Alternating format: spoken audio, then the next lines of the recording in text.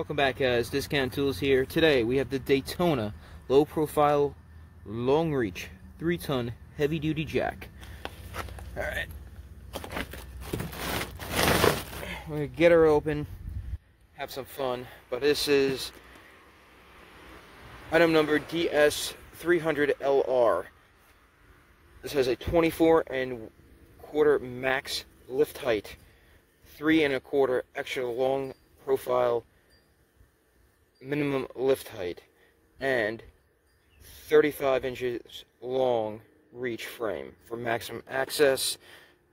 Got this a couple months ago. This is like, I, forgot how much I paid for it. It was about probably close to 200, but this is something new that they offer now. Um, I think their other one is four, a four ton. It's the yellow one, but this has some features that the other one doesn't have, just like the foot pump, as you can see back here, for a hands-free quick lifting, as do you know, the dual piston design and everything. So let's get her open and see what this is like inside.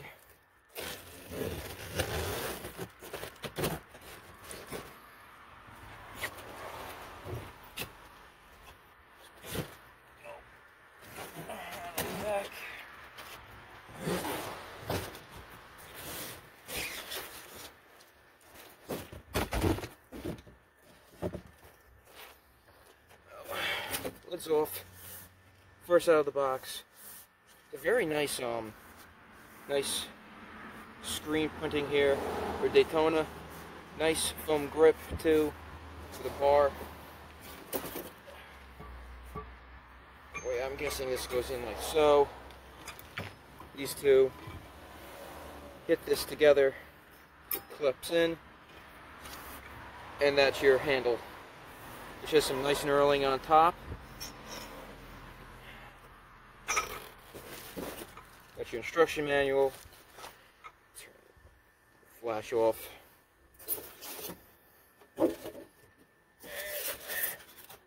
After all that,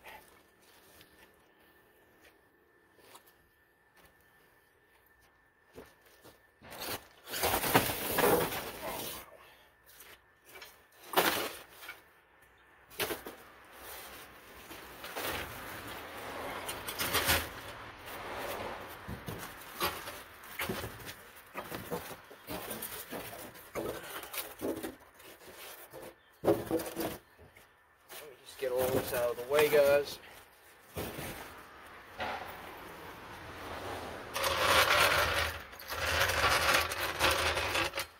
We have the floor jack itself, which, oh boy, let me take this off the stand.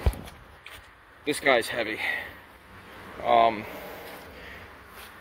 as you can see, you have the floor pump here. Probably have to take this off right here this plastic piece out to raise this part up where the handle goes. Nicely lubed. Nice rubber floor jack mat right here uh, where the uh, jack is stand it goes. Protects your car. Did not expect this to be this heavy. Wow. so, have a nice grease point here and that's what I like seeing with the Harbor Freight jacks. They do offer grease points. A lot of these guys, they don't. Um, and it's just an easy thing to keep going. There we go. Just gotta work it out.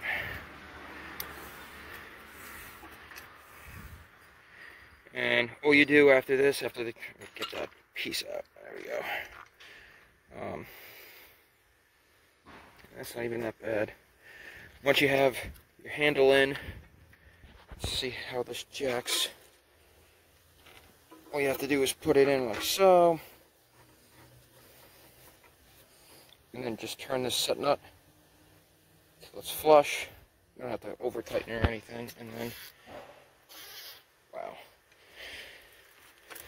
And then you can just turn it back. Nice. Very responsive too. And if you just want to check it up with your foot. Look at that. Wow, that's like, this is Look at that. Look at that. You don't even, I don't even need, you, you do not even need the handle. And look at that, look at that height. I mean, you know, that's over my knee height on this jack. We'll get a, let me get a, let me get a, uh, a, a measurement on this, make sure it's actually that height, and we'll be right back. So I got my Milwaukee tape measure here. So let's see how high this, this from the bottom is. It's 24 and a quarter, and I'm only almost up to 25 inches. So you're almost you're getting a good reach with this low profile jack. Um, I forgot which the other one is. I, I know it's a Daytona, but it's the yellow one. They that's the one they got sued from by Snap-on, I believe, because it looks just like their jack. Let's lower this. Very nice too. Very smooth. Because that's why I got this one. It was low profile. I don't think the other one's low profile file either. I think it's because it's 4 ton. I could be wrong. But it has the same metal uh, side railing here for strength on both sides. Um, that's why I got this one. It looks exactly like this one, except this is, I think this is long reach, and the other one, I think had better tires versus having the long reach, and I would wanted to have the extra reach when I'm going underneath a car. So let's, and basically the reason why I also got this over that was for the long reach and the low profile because I have the three ton regular uh, Pittsburgh Jack.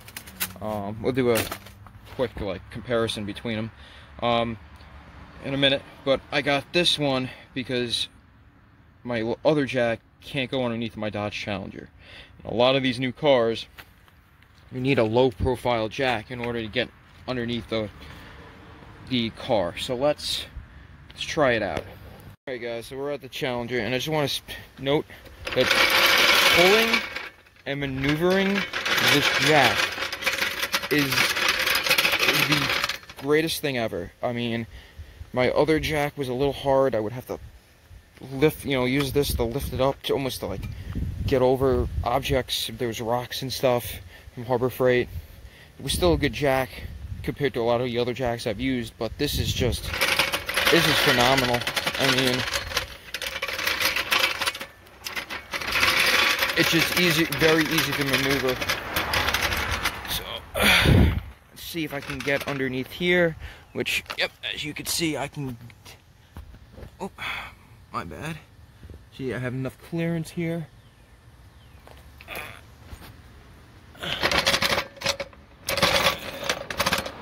To position this we need it.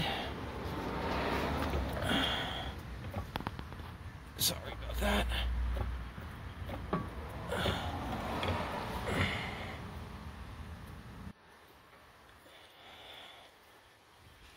Alright, so looks like we got it.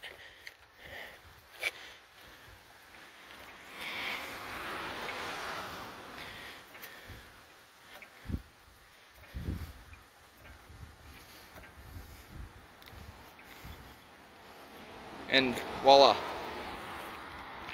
It's up in the air. I don't think I have the other side up in the air, but this will give me enough clearance to actually do the brake job I have to do on this truck the car. Um, but wow, that was so much easier. So, I shall be back. We're going to do a comparison between this and the old Pittsburgh that I have. Alright, so I'm here at my Dodge Challenger, and this is where I have a problem. As you can see, it's about 8 inches off the ground, and I can't get my regular jack underneath here. So, I'm going to show you how low this guy can go. So, as you can see, if I can get some movement on here, since it's on grass, that's the thing I hate about these jacks. If you have any type of grass, as you can see, the whole thing fits underneath. But if you have any type of grass or anything, they're really hard to uh, move with one hand. We're gonna have this driveway fixed. As you can see, I'm trying to think. Um, not a lot of wiggle room, as you can see, but try to jack this up. As you can see, I think I'm in the jack position, yeah. Even though basically the whole jack is underneath the car, I can jack it up.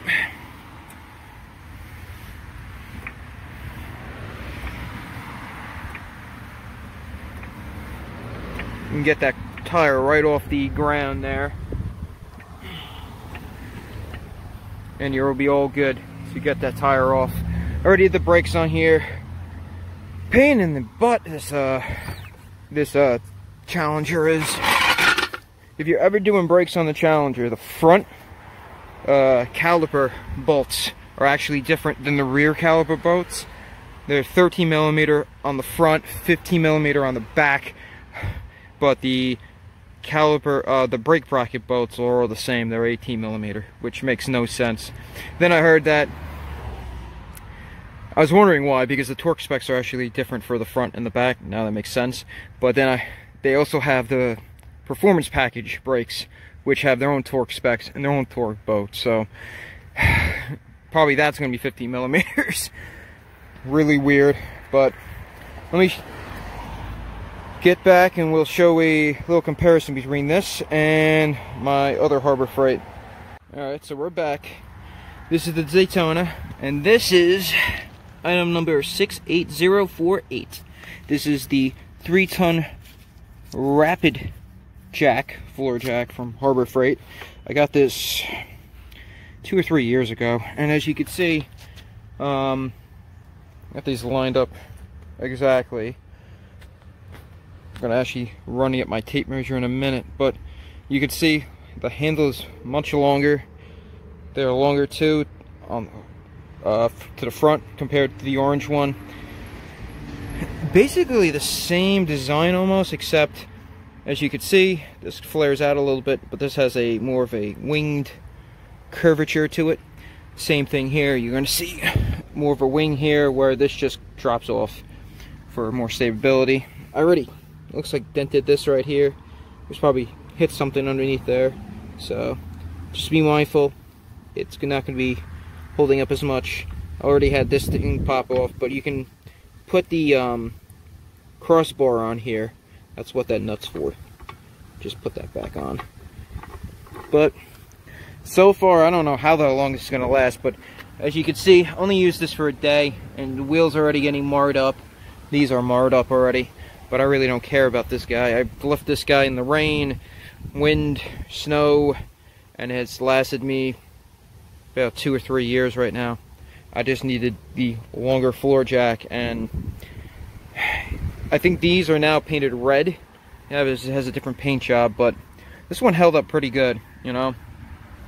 It did its job, and I'm just gonna, I'm still keeping it around. Um, this one, if it gets really bad, I took the warranty out. So in two years, I could bring it back. They'll give me a free one, and all will be good. But so far, as you can see, you have the same rubber uh, foam cushioning actually right here to protect the front of the car so it doesn't, if it hits it, you know, you'll be fine. Same knurling, just this is further out. Uh, let's get a measurement on it. So we got the handy dandy tape measure. And we'll measure this out from at least here. So you got just shy of 31. I'd say 30 and a half. About maybe 30 and 5 eighths. Or 3, eh, we'll call it 3 quarters. It's 33 quarters from the back here. It could be about 31 looking up there. And then here, as you can see, I would say this is in that league of the red one. You're looking at that. This is 23 inches. Bring this out. the height from the O-ring here is well, just under 44 inches. And here, I'm gonna have to, sorry for the camera work guys, I will apologize for that.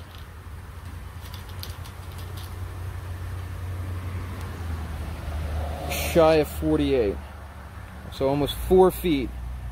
Yeah, so it's, uh, I'd say it's, uh, 47 and three quarters. So shy of, so you're, you are getting a more, more, uh, handlebar here for your buck. So you're further away from the, from the car or whatever truck you have. So that just in case it does fall off the jack, you have, you you have space to get away. Um, I love the low profile of it. I do love this jack, and I also recommend this jack too. I mean, I've jacked up um, many cars with this. Many, most of my, most of the time, my truck. You've seen, uh, if you followed my videos before, you've seen my my uh, Dodge Ram. I've used this plenty of times to jack it up with no problem. Um, I think once or one or twice it it's it did you know, let go, but that was because I didn't get a good uh, good center of the uh, metal that I was trying to lift on it. Um, where it was just resting on, you know, halfway here. So, but this this is great. I really love this for the uh, the Challenger I'll be using. I'm going to try to do a test later on, maybe after a couple of uh, a little more time using it but I do recommend it. I really like it so far. Um, just time will tell if this will last as, as long as this, um, like I said. But as you can see, I already dented the metal here. Um, but this is a thinner part of the metal. And I think that might not, you know, it's there's some parts here are thinner than here. This one's a little more robust. Um, very this is just probably I want to say this is as heavy as this one or very similar in weight um, you know nah actually this is a little lighter but it feels it's just as heavy because everything's so compact on it. I do like this jack. Um, it is you know the weight difference is is there but as you can see you know it might not hold up as long because of they kind of made this one a little more thicker whereas this one's a little more thinner so you might want to consider that a two-year warranty on it. And remember it's a two-year warranty where because of this you can take it back or all this stuff say yeah the wheels are not as good as anymore and they'll give you a free one and then you can buy the two-year warranty again just in case. Get a different color if you want and you're on your way with a new jack for I think mine was like 30 bucks for the two years. So if you have to go back every two years and get a jack for $30 compared to 200 I think that that that that's in the ballpark right there um, but that's my thoughts let me know um, if you have this jack let me know if you, how you are liking even the Harbor Freight jacks as everyone's coming home now um, you know, give me your opinion. Let me know. I really like them so far. I think they're they're worth the money. Um, it's one of the three things I know they they're known for. Their hand tools, their jacks, and their tool chest. And I have all three. Um, well, it's more not the hand tools are great. It's just their warranty. You just walk in. Even if now I've heard that they're looking your name up with your phone number now to make sure you bought it there or you bought the you know tool there but when I had it, when I've done it before, you just walked in. Here's my Pittsburgh ratchet, broke. Go get a new one, and you walked right out with while you hand in the old one. So, let me know. Also, hit the like button if you like this discounted content. Subscribe if you like want more discounted content. And as always, guys, leave a comment down below. Let me about this discounted discounted content. And as always, guys, keep on trucking. I'll see you on the next one. That's my thoughts on the Daytona. I really like it so far. Time will only have to tell how long it will last, but like I said, if it lasts as long as this guy, be great. It's been three, four years, and I haven't had any issue oiling it, worrying about, you know, different things on it. And this one comes, as you can see here, zoom in here, you know, it's well oiled. I mean, I've had, so, whenever I get anything from Pittsburgh, it's really well oiled. I usually never see this on some name brand stuff, so. Alright, till the next time, keep on trucking. Hope everyone's safe and staying safe with this COVID stuff and everything, and families are my prayers. As always, guys, keep on trucking. Peace out.